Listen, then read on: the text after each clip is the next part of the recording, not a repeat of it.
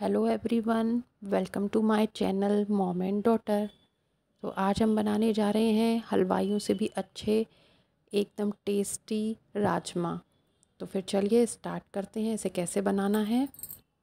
तो इसके लिए मैंने राजमा को ओवरनाइट सोक किया था और उसके बाद इसे कुकर में डाल के पका लिया अच्छे से और साथ में नमक भी डाला है ताकि ये अच्छे से पक जाए। ये देखिए, राजमा हमारे अच्छे से उबल चुके हैं।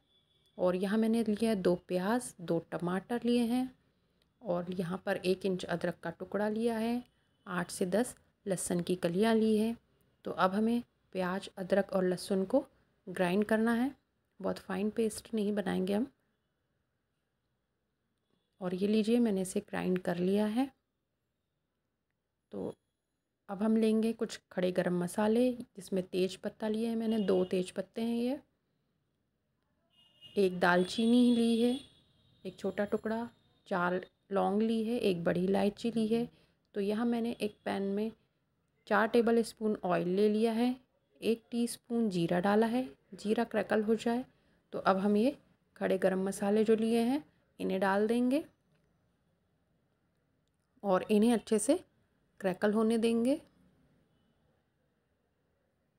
और अब हम डाल देंगे इसमें अदरक, लहसुन और प्याज की पेस्ट जो बनाई थी।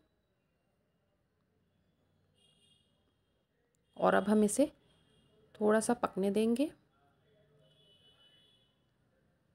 अब हम डाल देंगे इसमें स्वाद अनुसार नमक, ताकि हमारे प्याज जो हैं वो जल्दी से पक जाएँ और इनमें कलर आ जाए।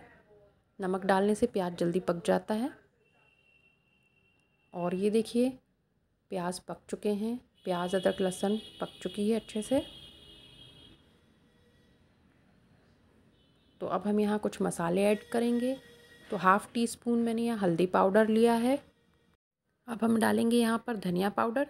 तो यहाँ पर तीन टेबल स्पून मैंने धनिया पाउडर डाला है। और इसके बाद डालेंगे हम लाल मिर्च पाउडर। तो एक टीस्पून मैंने लाल मिर्च पाउडर डाल दिया है। इसे मिक्स कर लेंगे और यहाँ फ्लेम हमें लो कर लेनी है ताकि मसाले जले नहीं। साथ ही मैं यहाँ पर डालूँगी थोड़ा सा पानी। इसकी वजह से मसाले जलेंगे नहीं और अच्छी तरह से पक भी जाएँगे। ये देखिए, अच्छे से इन्हें मिक्स कर लेना हमें।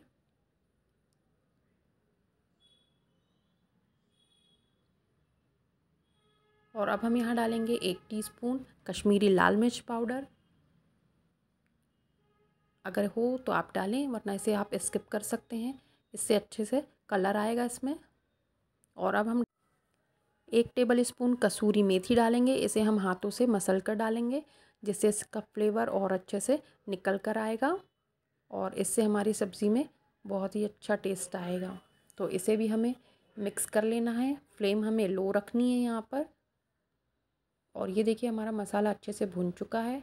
तो इस स्टेज पर मैंने यहाँ पर टमाटो की प्यूरी बना ली है और उसे भी मैंने ऐड कर दिया है। ये देखिए जार में भी थोड़ा सा पानी डाल देंगे ताकि जो टोमेटो प्यूरी जार में है, वो भी हमारी ग्रेवी में आ जाएगी। ये देखिए। और अब हमें इसे पकाना है।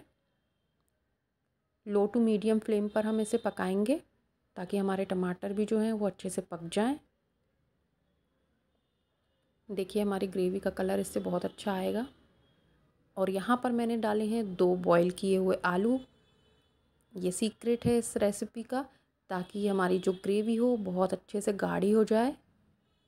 इसे हमें अच्छे से मसल कर डालना है। किसी को पता भी नहीं चलेगा कि इसमें आलू डला हुआ है। अच्छे से पूरी तरह से इसे मैश कर देंगे हम और इसे भी हम अच्छे से पका लेंगे। ये देखिए इस तरह से। टमाटर और आलू अच्छे से मैश कर देंगे हम चम्मच से दबा दबा कर। ताकि ये एक सार हो जाए बिल्कुल। देखिए इस प्रकार से। अब हम एक टेबल स्पून आमचूर पाउडर डालेंगे। थोड़ा सा खट्टा टेस्ट देने के लिए। और इसे भी हम मिक्स कर लेंगे। देखिए कितनी बढ़िया लग रही है। इतना अच्छा कलर भी आ चुका है। और यहाँ अब मैं दो हरी मिर्च डाल रही हूँ, बीच में से चीरा लगाकर। इसे भी हम मिक्स कर लेंगे।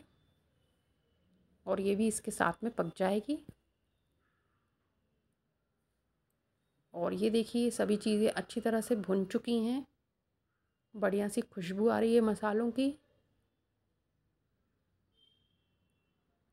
ये देखिए, कितना बढ़िया लग रहा है हमारा ये मसाला। अब इस स्टेज पर हम, जो राजमे हमने बॉईल किए थे, वो डाल देंगे। हल्के हाथों से इसे मिक्स करेंगे और साथ ही अब हम इसमें पानी भी ऐड कर देंगे। ग्रेवी की थिकनेस आपके ऊपर डिपेंड करती है कि आपको कैसी चाहिए है। उस हिसाब से आप इसमें पानी डालेंगे और इसे अच्छी तरह से मिक्स कर लेंगे ताकि राजमा, पानी और मसाले सब अच्छी तरह से मिक्स हो जाएँ। ये देखिए अच्छी तरह से इन्हें मिक्स कर लेना है। तो यहाँ फ्लेम हम हाई कर लेंगे ताकि इसमें अच्छा सा बॉईल आ जाए और इसे ढककर दस मिनट के लिए हम पका लेंगे अच्छे से ताकि राजमों में सारा मसाला एब्ज़ॉर्ब हो जाए। और ये देखिए, हमारी सब्ज़ी जो है, उबाल आ चुका है।